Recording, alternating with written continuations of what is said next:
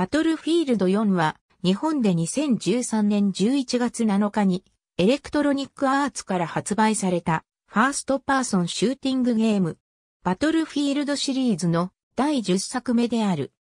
先行発売された現行コンシューマ版の予約特典には次世代機版を有料でダウンロード可能なプロダクトコードが付属している。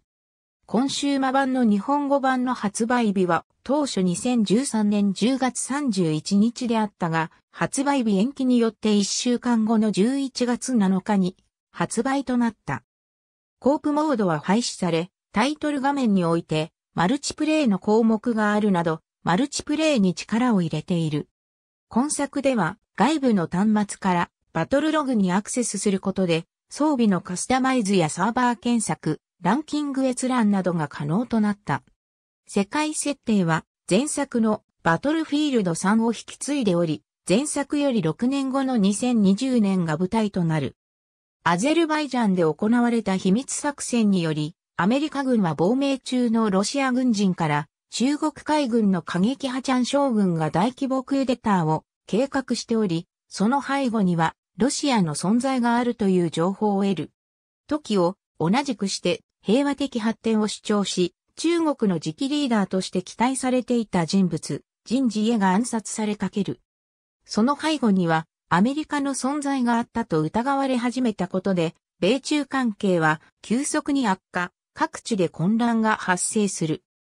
さらには、チャンテイ徳により選挙が中止され、中国全土に戒厳令が敷かれたことにより、中国の政治情勢は混乱の極みへと至る。これを受けて、アメリカ・ロシアの両海軍が南シナ海に展開。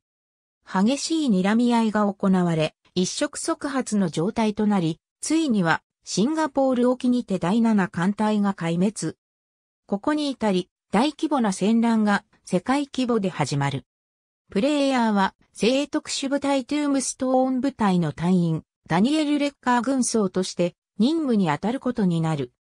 トゥームストーン部隊アメリカ合衆国中華人民共和国その他 PC Xbox One PS4 版での対戦人数は64人。先行発売されたコンシューマ版は前作同様24人となる。今作ではアメリカ海兵隊とロシア陸軍に加え三つ目の勢力として中国人民解放軍陸軍が追加された。陛下は基本的に BF3 のシステムを引き継いでいるが、後兵のメインウェポンがカービンから PDW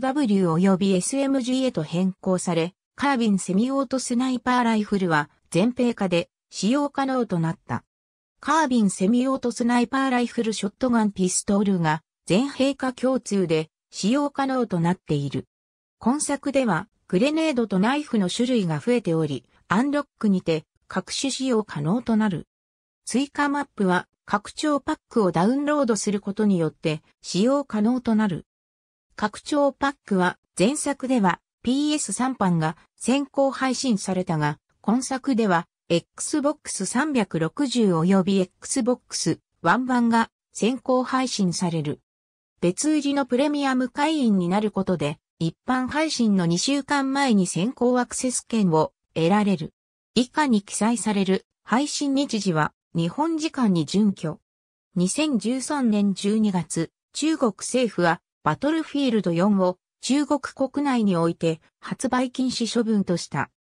発売当初よりシングルプレイのデータ消失バグやマルチプレイでのフリーズなどが大きな問題となっており、繰り返し改善パッチの配布がなされた。シングルプレイに関しての問題点は多くなかったが、マルチプレイに関しては非常に多数のバグや問題が発生した。大半はラグに伴うものやクライアントが強制的に終了する、操作不能に陥るといった類ではあるが、致命的なものでは OS を巻き込んでフリーズする、マルチプレイではゲームサーバー自体がダウンしてしまい、すべてのプレイヤーがサーバーから弾き出されることも多々発生した。これらは運営によって謝罪が行われ、お詫びとして XP の獲得が一定期間倍になったり、特別なアクセサリーを送付するといった対応が全プレイヤーに対して行われた。またこれらのバグとは別枠で武器の表示されているスペックと実際の性能が異なったりすることも多々発生し順次修正された。バリスティックシールドが PS3 及び Xbox 360のメモリ問題に足を引っ張られる形で本来予定していた性能が削られるということも発生した。2014年9月30日の大型アップデートにおいて問題となっていた各種バグの最終的改善、マルチプレイでのゲームバランスの適正化を目的とした各ガジェットのダメージ調整やマップ構造、ビークル配置の変更などが大規模に行われた。しかしながらその後もたびたびバグが報告されており、すべての問題が解決したとは到底言い難い状況にある。PS4 パンの販売に伴い、数々の問題点を販売直前まで公表していなかったとして、EA 社に対してアメリカで法的訴訟を起こした弁護士事務所が発生する事態となった。ありがとうございます。